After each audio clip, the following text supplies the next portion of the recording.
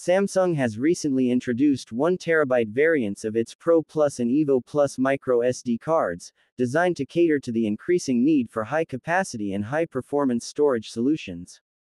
These new offerings leverage Samsung's 8th generation VNAND technology, enhancing their performance and reliability.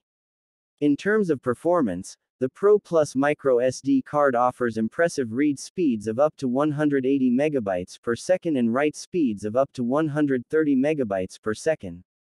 It also supports Speed Class 3 and Video Speed Class 30, which are essential for high quality content creation, particularly for 4K Ultra HD video recording. Additionally, the Pro Plus card features A2 application performance, enhancing its efficiency. The Evo Plus card, while slightly less powerful, still delivers strong performance with read speeds of up to 160 megabytes per second. It also supports U3 speed grade and V30 video speed class, making it suitable for everyday data storage and multitasking.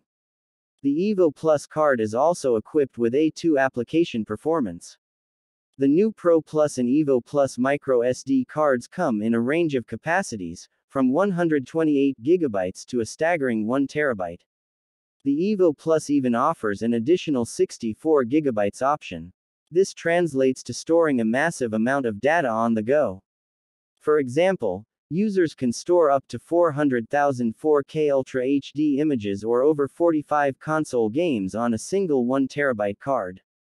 Both the Pro Plus and Evo Plus micro SD cards are designed for durability, with the ability to withstand water exposure, high temperatures, X-rays, magnetic fields, drops, and general wear and tear.